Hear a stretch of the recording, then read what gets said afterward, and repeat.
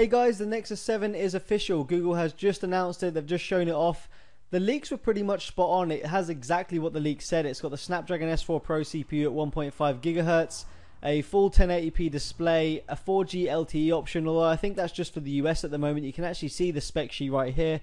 2 gigabytes of RAM, dual band Wi-Fi, Bluetooth 4.0, which is that low energy support as well. HDMI output through the uh, SlimPort, that's the same as what the Nexus 4 has. NFC and wireless charging. Not to mention, this thing is lighter, thinner, slimmer, less bezel. It just looked fantastic when they were showing it off. Also, the screen is said to have something like a ridiculous amount more color, and it just looked great in my opinion. I probably am going to get one. Also, it does come shipped with the newest version of Android, Android 4.3. There are a lot of uh, under the hood changes there. Not much in terms of actual UI changes, but nonetheless, I'll probably make a video on that a little bit later.